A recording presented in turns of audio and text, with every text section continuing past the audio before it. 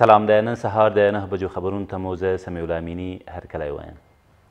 څارګر ملي اداره وایي تېره شپه د کابل ښار په دریو سیمو کې چاڼیز او مخیز عملیات پیل کړي او اوس هم روان دي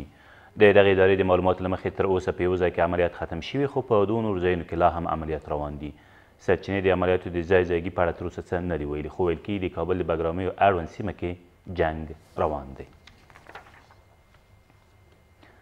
دوه ځانمرګي بریدګر په بغلان کې موخې ته تر رسیدو مخکې ووژل شول او یو بل یې په ټپي حالت کې نیول شوی دی د دوه سوه نهم شاهین قول اردو قومندانۍ ویاند وایي دغو کسانو غوښتل د یو هموې موټر بم په وسیله نن سهار نږدې پنځه نیم بجې په پلخمري ښار کې د ملي پوځ کېلګی کمپ په نښه کړي، خو په لومړي قراول کې تر پېژندنې وروسته د افغان ځواکونو لوري په نښه شوي دي. د نوموړي په وینا د هموې موټر د چاودنې له امله د ملي پوځ یو سرتېری هم ټپي شوی دی. د بادغیس سیمه ییز مسؤلین وایي طالبانو په دغه ولایت کې د یو افغان سرتیر میرمن وژلې ده.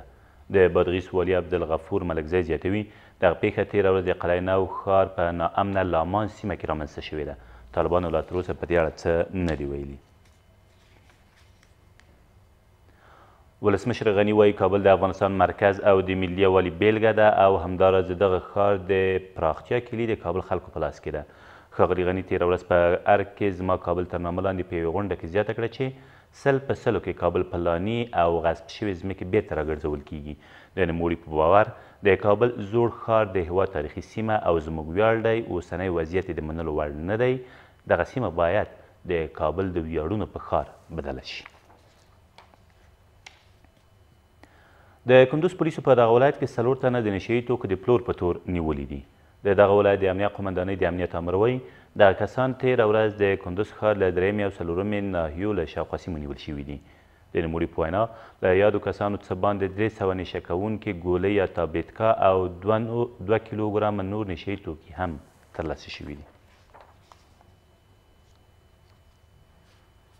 ولسمشر غني اړوند مسؤلینو ته لارښوونه کړې چې د قاموس لیکلو پروژه دې د هېواد ټولو ژبو ته وغځوي. ښاغلي غني تېر مازدیګر د نهه قاموسونو د تالیف او چاپ په اړه جوړه شوې ناسته کې زیاته کړه، زموږ د هېڅ ژبې ویونکی باید دا اندېښنه ونه لري چې ژبه یې د لمنځه تلو په حال کې ده. د نوموړي په وینا، زموږ د ژبو تعدد زموږ لویه پانګه ده او افغان حکومت د ملي یووالي، ملي هویت او د دغو ژبو د ودې او بډاینې لپاره په خپلو ټولو ژبو باندې پانګونه کوي او د افغانستان د معلولینو لوبډلې د پاکستان د معلولینو لوبډلې ته د شپږ منډو په توپیر ماتې ورکړه د افغان کرکټ بورډ په وینا په تیره ورځنۍ سیالیو کې افغان لوبډلې په شپاړس اورونو کې د یو سلو درې څلوېښت منډو هدف سیال لوبډلې ته ورکړ خو پاکستان بیا ونه توانید چې یاد هدف ترلاسه او بالاخره لوبه یې د شپږ منډو په توپیر افغانستان ته بایلوده ده ویل چې د ورښت له امله لوبه له شل اورونو شپاړس اورونو ته راښکته شوې وه. د معلولینو د نړیوال سیریز سیالیو په لړ کې تر دې مخکې افغانستان په خپله لومړۍ لوبه کې بنګله دیش ته ماتې ورکړې او ټاکل شوې درېیمه لوبه نن د کوربه هېواد انګلستان پر وړاندې ترسره شي. دا تر دې مهاله وروستي خبرونه تر بیا مو الله مل.